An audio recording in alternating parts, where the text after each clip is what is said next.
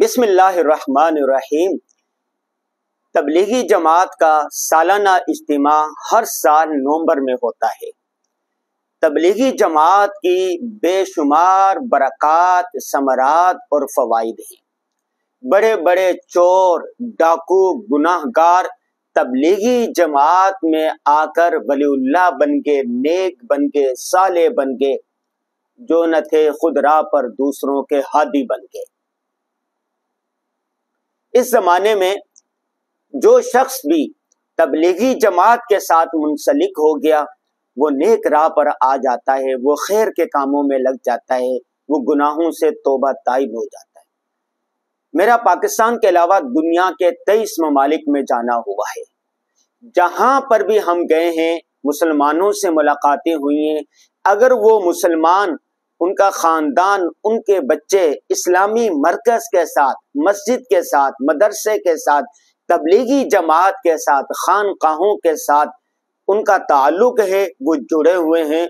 तो उनका ईमान भी महफूज है, उनकी औलाद भी महफूज है, उनकी हर चीज़ महफूज है। जो लोग अपने मरकज से दूर निकल गए, राबता खत्म कर दिया। अलायाजुबिल्ला उनमें से कई लोग ऐसे थे जो ईमान से हाथ धो देते मुझे नार्वे में एक शख्स ऐसा मिला जो ओल्ड होम में रह रहा था। आज से पचास पचपन साल पहले वो पाकिस्तान से वहाँ गया। आ, उसने शादी की और उसके दो बच्चे थे और माशाल्लाह मुसलमान थे ठीक थे। लेकिन लड़का बड़ा हुआ उसकी दोस्ती हो गई ईसाई लड़की के साथ। ईसाई लड़की ने शर्त रख दी कि अगर तू ईसाई मज़हब कबूल करेगा तो तेरे साथ मैं शादी करूँगी, वरना नहीं। अश्क इनसे इश्क जो होता है युसिम किसी चीज़ की मोहब्बत उसे अंधा और बहरा कर देती है।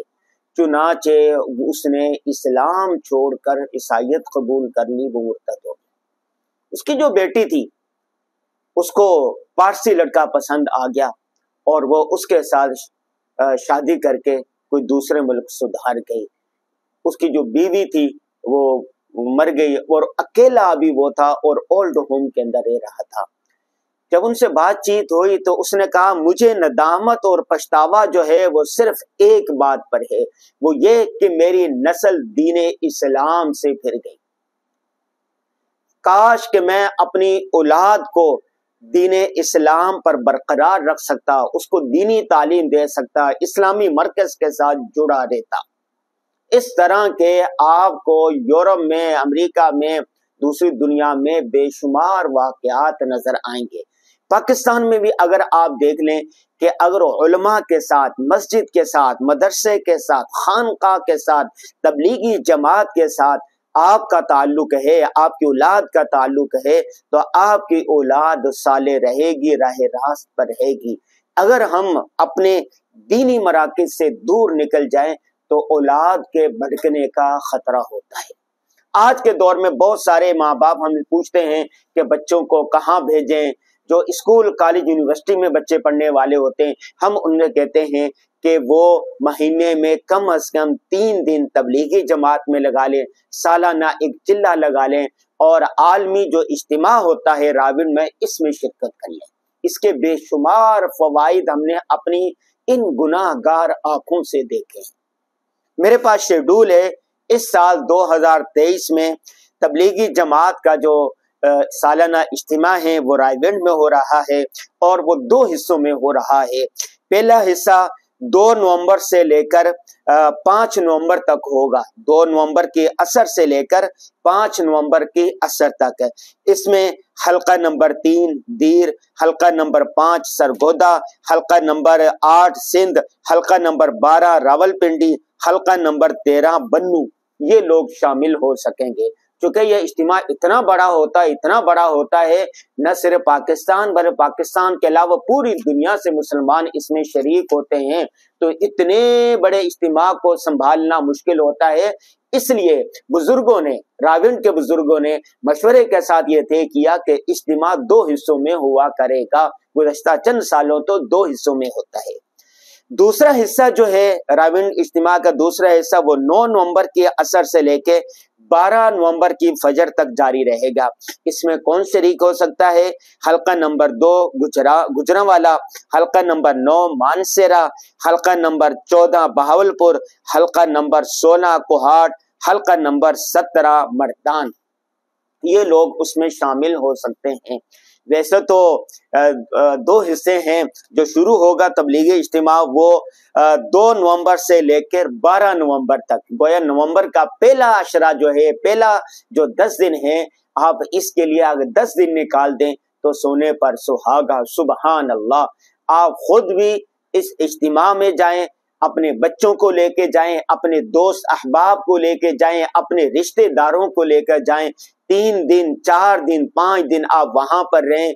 इस्लामी नूरानी माहौल के अंदर रहें, ईमान की बहारें देखें, बुज़ुर्गों के बयान सुने। कहते ना, सोहबत सालेह तुरा सालेह कुनन सोहबत ताले तुरा ताले कुलन। नेक लोगों की सोहबत के असरात मुसलम है। जब आप दस दिन या तीन दिन राइवेंड में लगाएँगे तो इनशाला इसके जो असरात है, वो पूरा साल आपकी ज़िंदगी पर रहेंगे। तो आपने खुद अपनी औलाद के साथ, अपने बच्चों के साथ, अपने रिश्तों किदारों के साथ, अपने कजनों के साथ, अपने भाइयों के साथ, अपने दोस्त अहबाब के साथ तबलीगी जमात के सालाना इज्तिम में जो रायवेंड में हो रहा है, जो 2 नवंबर 2023 से लेके 12 नवंबर 2023 तक 12 दिन तक जारी रहेगा, दो हलकों में हो रहा है। चल दीन की तबलीग में चलने का मज़ा देख। जिसको दीन की तबलीग लग जाती है, ये नबियों वाला काम है। बल्लेगो अन्नी वलो आया तुम्हारे पास खैर की कोई एक बात है, आगे पहुँचा जो कुन तुम खैर उम्मतिन मुनकर। तुम बेहतरीन उम्मत हो, उम्मत मोहम्मदिया, तुम बेहतरीन उम्मत हो। क्यों? कुरान कहता है तमरून बिल मारूफ तनहना मुनकर। कि तुम नेकी का हुक्म करते हो, भलाई का हुक्म करते हो, खैर का हुक्म देते हो और लोगों को बुराई से रोकते हो, फहाशी से रोकते हो, उरियानी से रोकते हो, गुनाहों से रोकते हो। अम्बिया का काम क्या था? लोगों को अल्लाह की तरफ़ बुलाना, दीन की तरफ़ बुलाना, खैर की तरफ़ बुलाना, भलाई की तरफ़ बुलाना, फलाह की तरफ़ बुलाना, जन्नत की तरफ़ बुलाना, जहन्नम से रोकना, गुनाहों से रोकना। यह अंबिया का काम था। ये काम सहाबा ने किया ताबीन ने किया, तबा ताबीन ने किया। यहाँ तक के 1400 साल बाद आज हमारे पास ये दीन मौजूद है। तो इसी तरह हमने दीन इस्लाम को सही शक्ल और सूरत के साथ अपने आने वाली नस्लों तक पहुंचाना है। इसके लिए दीन के तबलीग में चलना पड़ेगा। चल दीन के तबलीग में चलने का मज़ा देख। तो हम सबने आप सबने रायवेंट के तबलीगी इज्तिम में जाना है। तो इसके लिए तैयारी कर लीजिए। थोड़े से दिन, थोड़ा सा वक्त रह गया।